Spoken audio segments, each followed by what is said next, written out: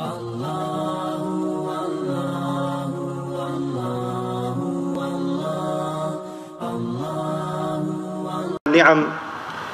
ونصلي على رسوله الأكرم ذي الشرف الأشم والنور الأتم والكتاب المحكم وكمال النبيين والخاتم سيد ولد آدم الذي بشر به عيسى بن مريم ودعا لبعثته إبراهيم عليه السلام حين كان يرفع قواعد بيت الله المحرم.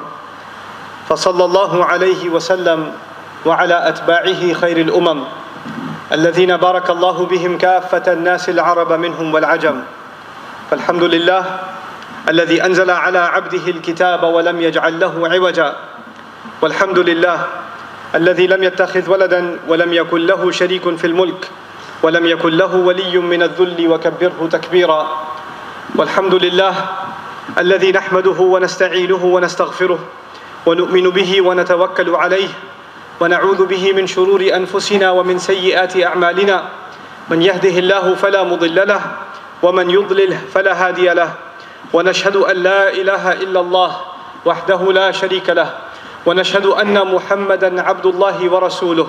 أرسله الله تعالى بالهدى ودين الحق ليظهره على الدين كله وكفى بالله شهيدا. فصلى الله عليه وسلم تسليما كثيرا كثيرا. ثم أما بعد فإن أصدق الحديث كتاب الله وخير الهدي هدي محمد صلى الله عليه وسلم وإن شر الأمور محدثاتها وإن كل محدثة بدعة وكل بدعة ضلالة وكل ضلالة في النار.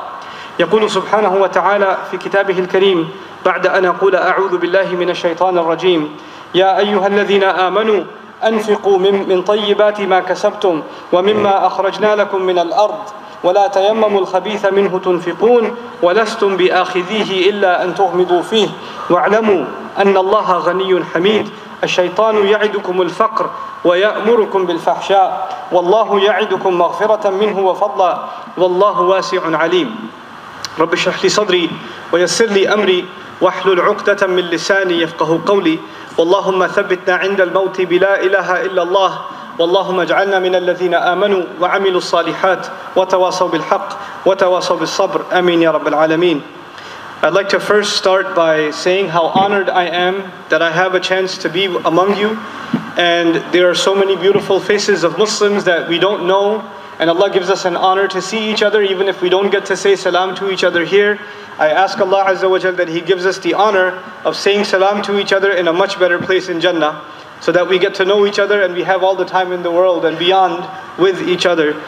Uh, what I want to speak with you about today, inshallah, in this khutbah, is a couple, just two ayat from Surah Al Baqarah. Just two ayat that belong to Surah Al Baqarah. And everybody here, I think, knows Surah Al Baqarah is the longest surah in the Quran.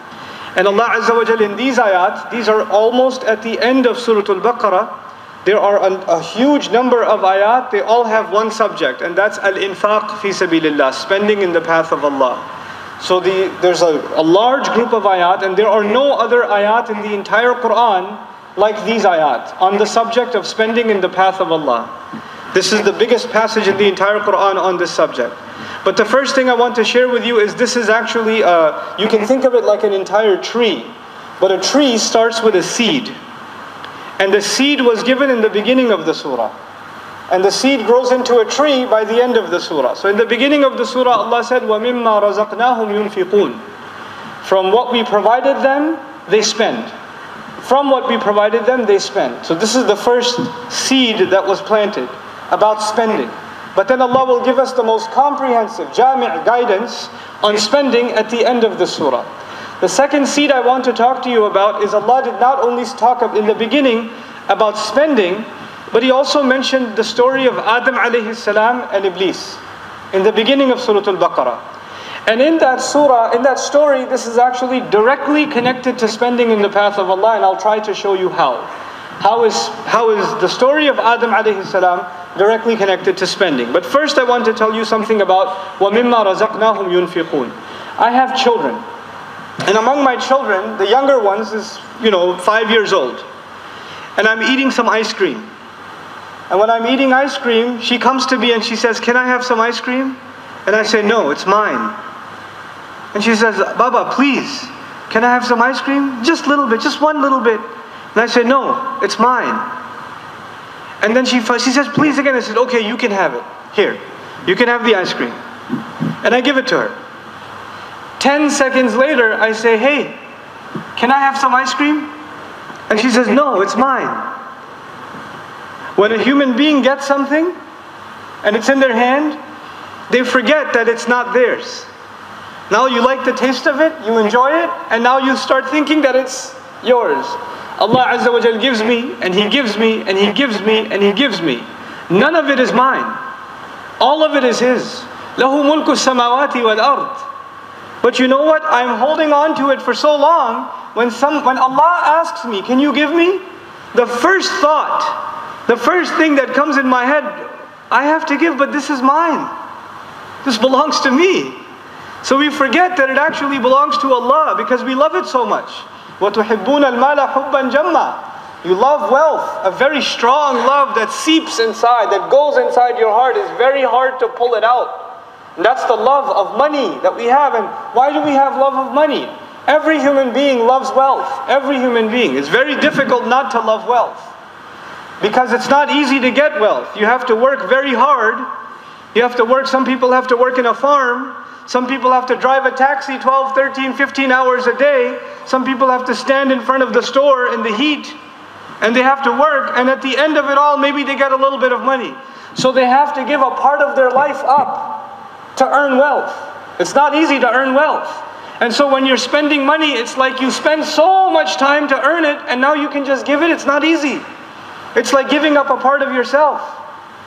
You know, this is why Allah Azza wa Jal, when He talks about people who He has given them Jannah, He says, إِنَّ اللَّهَ اشْتَرَى مِنَ الْمُؤْمِنِينَ أَنفُسَهُمْ وَأَمْوَالَهُم He puts anfus and amwal, yourselves and your money, because our money is actually an extension of ourselves. You know, we have to give up part of this life. I don't like to do work all day, but I have to do it.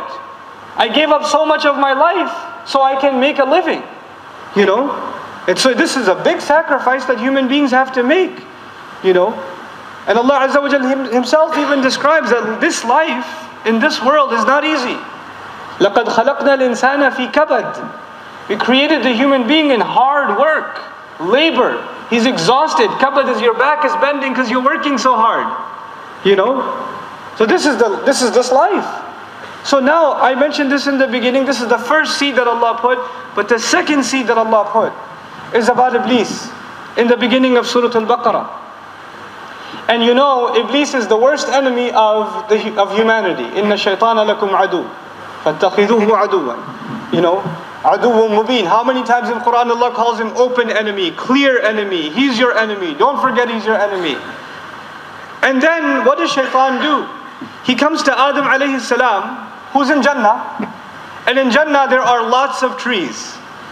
And the trees of Jannah, ذَوَاتَا أَفْنَانٍ فَبِأَيِّ آلَاءِ رَبِّكُمَا تُكَذِّبَانِ The trees of Jannah are full of branches. They have wonderful fruit. You don't even have to climb the tree to get the fruit. وَجَنَ الْجَنَّتَيْنِ دَانٍ The fruit comes down to you. You don't go up to the fruit.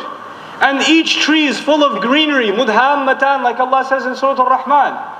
And Adam alayhi salam is in Jannah. There is no shortage of trees. There are lots and lots and lots of trees. And Allah says, only one tree, don't go near it.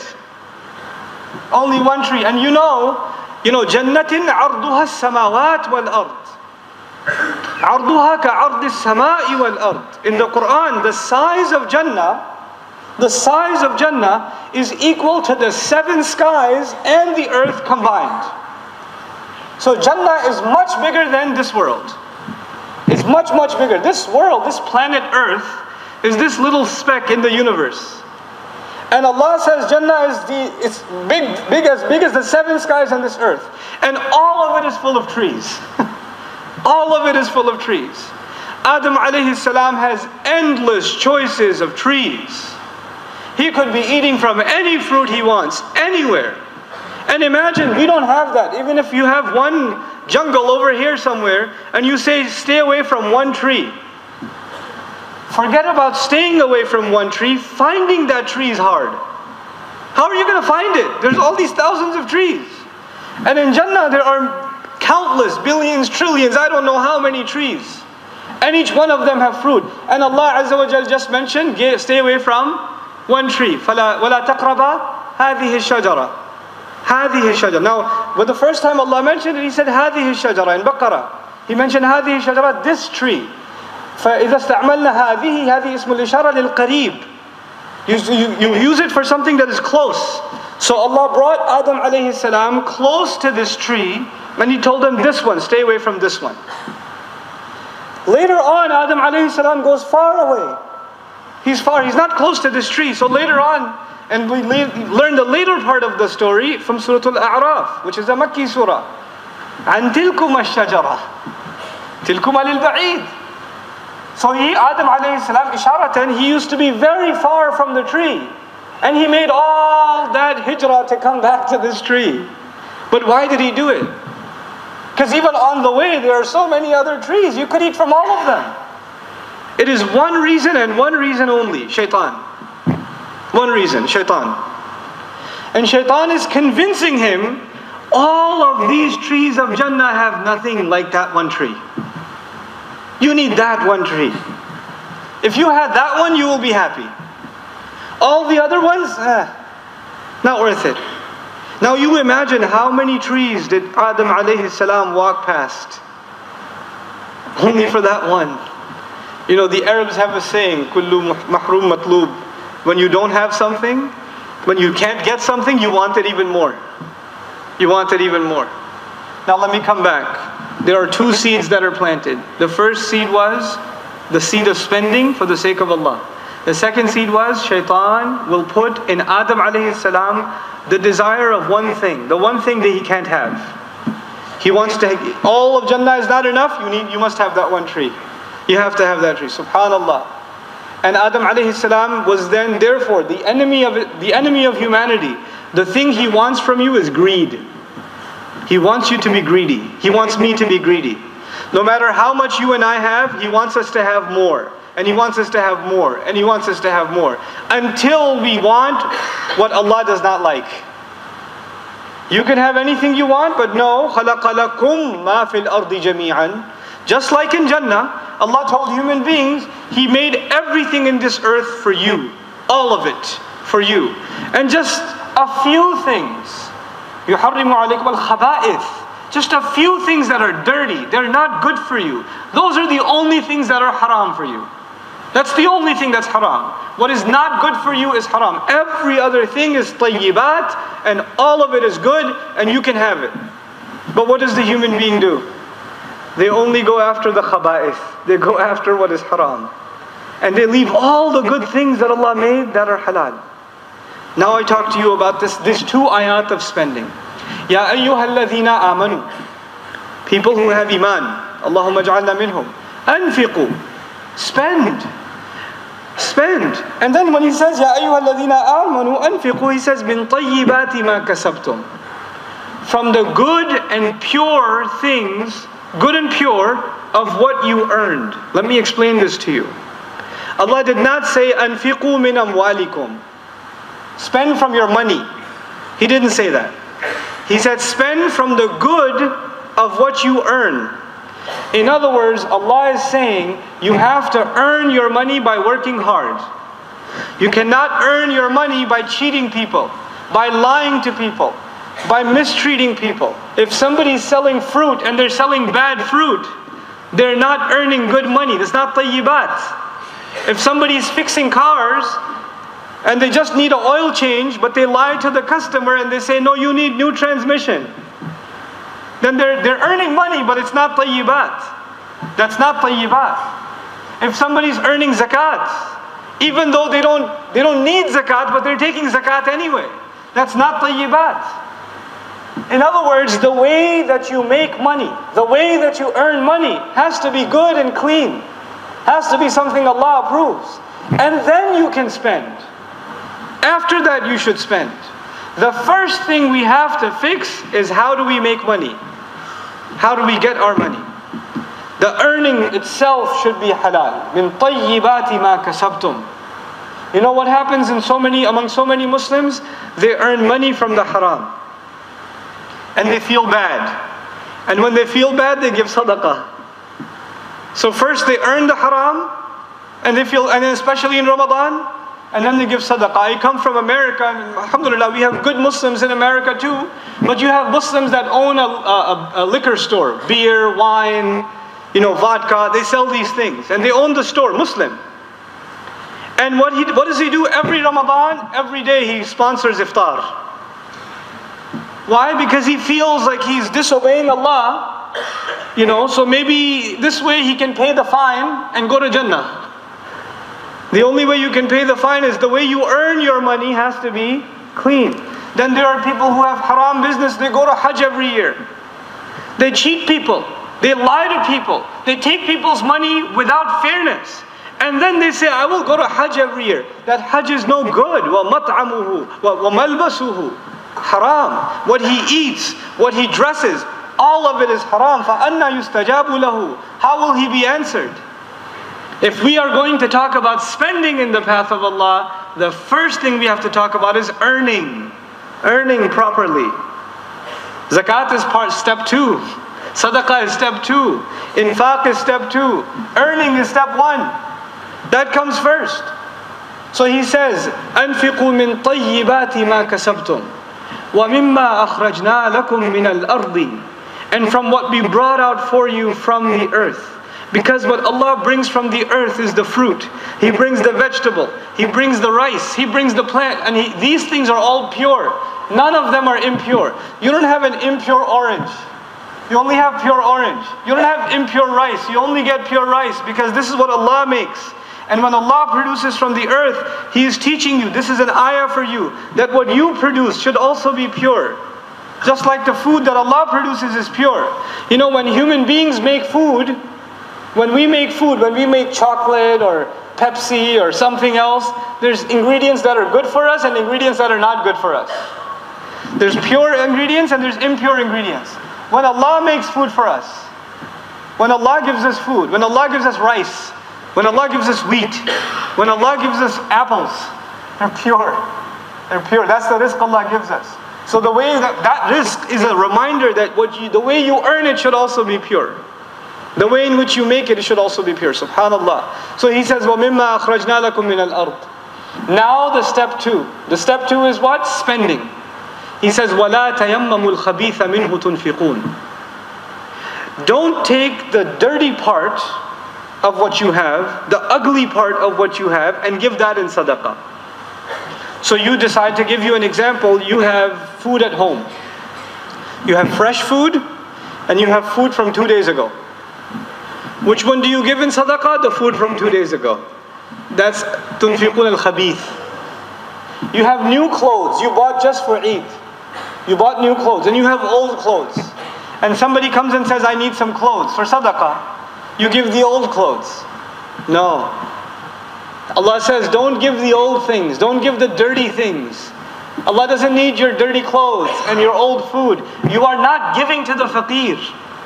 You're not giving to the miskeen. You're giving to Allah. You're giving to Allah. The Sahaba, so many of the Sahaba, before they gave sadaqah, they used to put perfume on the sadaqah. They used to put perfume on the sadaqah. And you ask why? Because I'm giving it to Allah. I should present it nicely. Subhanallah. When we give in sadaqah, when we give in faq, we are not helping poor people. We are not helping poor people. They are helping us. They are building our akhirah. They should not be saying thank you to us. We should be saying thank you to them. This is the mind of the Muslim. So he says, وَلَا تَيَمَّمُوا الْخَبِيثَ مِنْهُ don't make the intention for giving the extra thing, the dirty thing. وَلَسْتُمْ بِآخِذِيهِ إِلَّا أَن تُغْبِضُوا فِيهِ What would happen if you became poor? What Allah gave me the house. I didn't get the house. Allah provided the rizq. Allah gave me the health. What if I didn't have the health? Allah gave me the job. What if I didn't have the job? Then the person, the guy on the street who knocked on my door, the one who was begging for food, maybe I could be that person. That could have been me. There's no reason I have and he doesn't have except the qadr of Allah. Allah decided that I should have. Allah decided that He has His own test. But if I was on the other side, if I was the one with my hand out like this, And we ask Allah that He provides us rizq so we never have to put our hand out for anyone. But when you have, if one day came, ma'adallah, and you have to put your hand out, would you want to get the second hand item? Would you want to get the old food? Would you want to get the smelly clothes, the leftovers? How humiliating would that be? You wouldn't take it yourself. That's what Allah says. وَلَسْتُمْ بِآخِذِيهِ إِلَّا أَن تُغْمِضُوا فِيهِ You wouldn't take it yourself unless you had to close your eyes and ah, ah. You'd have to take it like that. You know? And then when he, as he closes this ayah, subhanallah, وَعْلَمُوا أَنَّ اللَّهَ غَنِيٌّ حَمِيدٌ you had better know Allah is not in, Allah does not need. Allah is ghani. Allah does not need your sadaqah. But I thought the faqir needs the sadaqah. And faqir yahtaj. And the ayah is about giving to the faqir. But Allah says, no, you're not giving to the faqir. You're giving to Allah. Allah is ghani. Everybody knows Allah is ghani. But at the time when you are giving sadaqah, at the time when you see someone put their hand out and you're giving to them, at that time I must remind myself, Anna Allah ghani. At that time. At that time you don't think about the poor person, you think about Allah. You think about Allah. And you know when you give to the poor person, they say thank you. They say Jazakallahu khairan. They make dua for you. They praise you. But Allah says, Anna Allah ghaniyun hamid. He's the one who already has hamd. He doesn't need anybody else. He's not going to be thankful to you and you don't need to, even if you don't thank Him. Even if you don't thank Him, he's, He has hamd already. In other words, as you are giving, as I am giving in sadaqah, number one, we remember Allah is the one that is wealthy, not me. Allah is the one that is wealthy, not me. And this poor person, this faqir, this miskeen, this sa'il, this one who is asking, they're, they're doing me a favor, I'm not doing them a favor. And when, they, when we do give, instead of looking for them to say thank you to you, you should be looking to thank Allah. You, you and I should be doing hamd of Allah. Allah changes the way we think about sadaqah. Now I told you there are two seeds. The first seed was spending. This ayah was about spending. The second ayah is about shaitan. Because shaitan, kama akhraja abawaykum min al-jannati, just like he got our father and our mother out of Jannah, now he wants us to stay out of Jannah.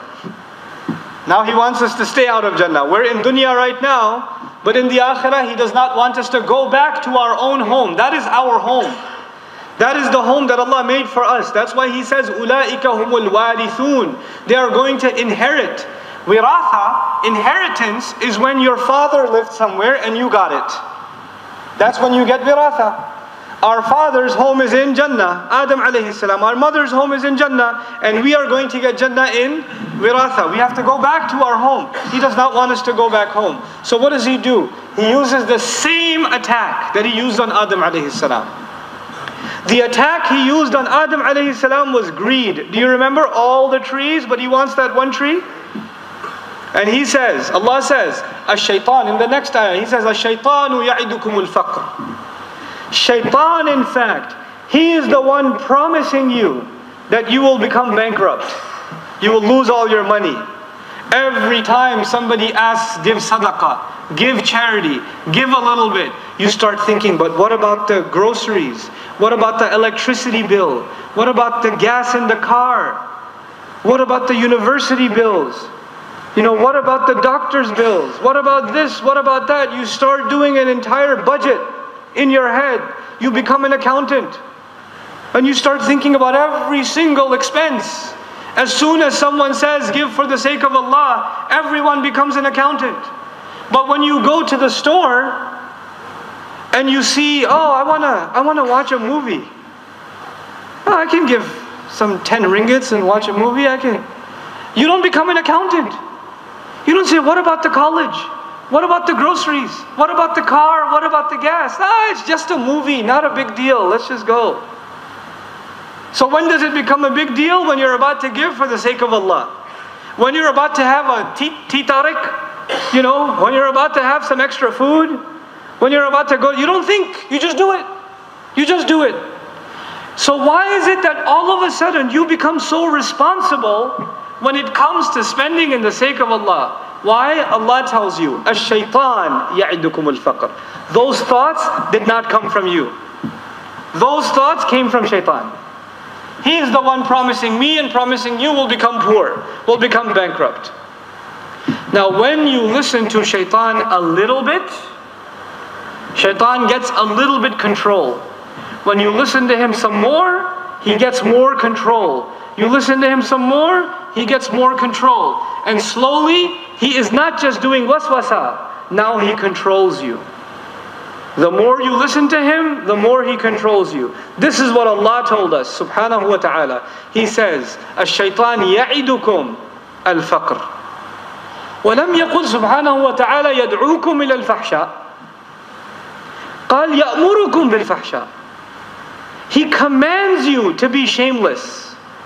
He commands you to fahsha. How is shaitan commanding me? I thought shaitan can only do waswasa. Inna ibadi laysa laka alayhim sultan. My slaves, Allah told shaitan, my slaves, you will not have any authority over them. You're not going to have any authority over them. So how is Allah telling me now He will command you to do shameless things? When you listen to His promise, when you listen to His promise, then He gains control over you. And when He gains control over you, then He tells you to do the worst things. If you go back to Adam alayhi salam, once they ate from the tree because of greed, يَنْزِعُ عَنْهُمَا لِبَاسَهُمَا He pulled them into fahsha. He pulled their clothes off. That's what Allah says. The next step will be the worst evil and that is fahsha. So it starts with greed and then it turns into a human being becoming shameless. Because when you think about greed, you only think about what you want. And when you think about shamelessness, you only think about what you desire. And shaitan wants you to only think about yourself, like himself. He only thinks about himself. So he wants the human being to only think about himself. So Allah says, وَيَأْمُرُكُمْ بِالْفَحْشَاءِ وَاللَّهُ يَعِدُكُمْ مَغْفِرَةً مِّنْهُ وَفَضْلًا I'm almost done with these ayat and we're done with the khutbah inshallah. And Allah, He promises you. Now, shaitan made promise, and Allah makes promise. Allah makes promise to you, maghfiratan minhu. Forgiveness that comes from Him. Every time I give sadaqah, I am earning the forgiveness of Allah. I am earning kafara for a sin that I did. Not the sin that I am going to do, but the one I did in the past. If you make genuine tawbah and you give sadaqah, Allah promises forgiveness for you in this ayah. But he not only forgiveness. If you gave a hundred, if you gave a hundred, Allah promises some forgiveness. But then there's something more. You just you used to have 200 in your wallet.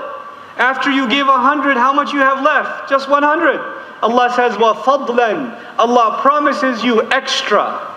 Tomorrow you will have 300 in your wallet because you gave to Allah. Allah promises you extra. And he does, لم يقيد سبحانه وتعالى لم يقل في الدنيا أو في الآخرة. He didn't say he promises you extra in dunya, in this world, and he didn't say he promises you extra in the next world, which means it is in dunya and it is in akhirah. Allah will give you more here and Allah will give you more there. وَاللَّهُ يَعِدُكُم مِّنْهُ مَغْفِرَةً مِّنْهُ وَفَضْلًا This is why the Prophet said, sallallahu alayhi wa sallam, مَا نَقَصَ مَالٌ مِّن صَدَقَةٍ Money does not decrease because of charity. When you give charity, money does not decrease. Subhanallah. This is this is Allah's promise. Wallahu ya'idukum minhu maghfiratan wa fadlan. And then at the end of it all, Wallahu wasi'un alim. Allah is vast. He knows everything. Why does Allah mention His vastness? Because you know the khaza'in of Allah, the treasures of Allah, the wealth that Allah owns maqalidu samawati wal ard mulku samawati wal ard. You know khaza'inu samawati wal ard they belong to Allah. So when you ask Allah it's very easy for him to give you. You know when you go to someone you know you go to your friend you ask for 20 you ask for 50 you ask for 100 when you go to a millionaire you ask for a thousand. When you go to a billionaire you ask for maybe 10,000 a million, a hundred thousand. When you go to ask Allah, it's open. Wallahu wasi'un alim. Ask Allah. Was'alullah min fadlihi. Ask Allah from His extra. and he will give because his wealth never runs out. We, at the end of this ayah, the most beautiful thing. It's the most beautiful thing. In the beginning of these two ayat, you are giving to the faqir. At the end of these ayat, you are the faqir. And Allah is giving to you. Allah is the one giving to you. Antumul fuqara.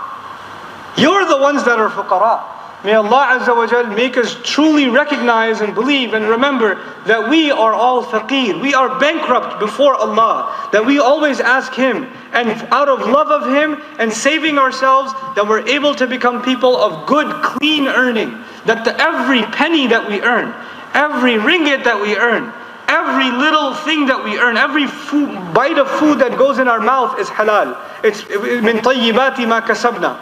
That's the dua that we make, that Allah makes our income halal. And then once we make that income, that Allah does not make us greedy, that we love to give. And we love to honor those that we give to. You know, I, I know I'm, my time is up, so I'll just say one last thing about giving to people. When you give to people, show them respect. When you give to people, show them respect. Don't hand the money and say, go, go, go, go, go. Don't do that. Don't do that. كلا بلا تكرمون اليتيم Allah did not say, كَلَّا بَلَّا تُعْطُونَ الْيَتِيمِ He said, تُكْرِمُونَ الْيَتِيمِ He didn't say, oh, you don't give to the yatim. He said, you don't honor the yatim. You don't respect the yatim. So giving is not enough. Giving is not enough. We have to honor those people, respect those people. Those people are special to Allah. They are guests of Allah. They're guests of Allah. So the way we treat the people in need, I pray that Allah Azza wa Jal makes us of those who help them, who honor them, and because we honor them, I pray that Allah Azza wa Jal provides us His endless, endless rizq in this dunya and in the akhirah. Barakallahu li wa lakum fil Qur'an al-Hakim, wa nafa'ani wa iyyakum bil ayati wa dhikr al-Hakim.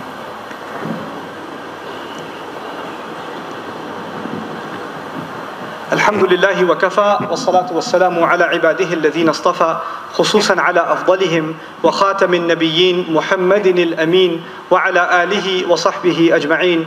يقول الله عز وجل في كتابه الكريم بعد أن أقول أعوذ بالله من الشيطان الرجيم إن الله وملائكته يصلون على النبي. يا أيها الذين آمنوا صلوا عليه وسلموا تسليما. اللهم صل على محمد وعلى آل محمد كما صليت على إبراهيم وعلى آل إبراهيم في العالمين إنك حميد مجيد. اللهم بارك على محمد محمد وعلى آل محمد كما باركت على إبراهيم وعلى آل إبراهيم في العالمين إنك حميد مجيد. عباد الله رحمكم الله اتقوا الله. إن الله يأمر بالعدل والإحسان وإيتاء ذي القربى وينهى عن الفحشاء والمنكر ولذكر الله أكبر. والله يعلم ما تصنعون. أقم الصلاة. إن الصلاة كانت على المؤمنين كتابا موقوتا.